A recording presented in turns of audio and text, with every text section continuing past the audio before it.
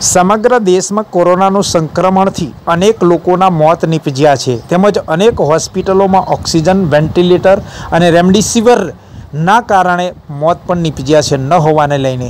તેમજ રાજ્યની કેટલીક હોસ્પિટલના ડૉક્ટરો દ્વારા ઉઘાડી લૂંટ ચલાવવામાં પણ આવી રહી છે. ત્યારે અંજારના શ્રી સાંઈ આશીર્વાદ હોસ્પિટલના ડૉક્ટર હિતેશભાઈ ઠક્કર તેમજ તેમના ધર્મપત્ની યામિનીબેન ઠક્કર દ્વારા કોરોનાના દર્દીઓની મફત સેવા સવાર સાંજ નાસ્તો, બપોરે અને રાત્રે જમવાની સાથે દર્દીઓને જ્યુસ, ઉકાળા, ફ્રૂટ અને માસ્ક, કપૂર, અજમાની પોટલી આપવાની સાથે સાથે તમામ સેવા તદ્દન ફ્રી કરવામાં આવે છે આ દંપતી દ્વારા.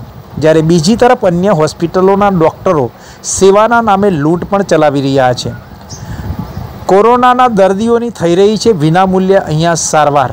અંજાર શહેરની બિલકુલ નજીક અને નાની નાગલપર ગામની હદમાં આવેલા શ્રી સાંઈ આશીર્વાદ હોસ્પિટલમાં કોરોના દર્દીને નિઃશુલ્ક સારવાર કરવામાં આવી રહી છે. ખાનગી હોસ્પિટલ હોવા છતાં પણ ડૉક્ટર હિતેશભાઈ ઠક્કર અને તેમના પત્ની દ્વારા અને તેમના હોસ્પિટલના સ્ટાફ દ્વારા ખૂબ જ જહેમત ભારે જહેમત સાથે, લગન સાથે કોરોના દર્દીઓની સારવાર કરીને સાજા કરવામાં આવી રહ્યા છે. વધુમાં કોઈ પણ દર્દી અને તેમના પરિવારના સભ્યોને ચા, પાણી, નાસ્તો, જમવાનું, તદ્દન મફતમાં આપવામાં આવે છે. તેમજ દરેક કોરોનાના દર્દી અહીંયા દરેક પ્રકારની સુવિધા ઉપલબ્ધ કરાવવાની કોશિશ કરવામાં આવી છે. આમ, માનવતા મરી પરવારી નથી.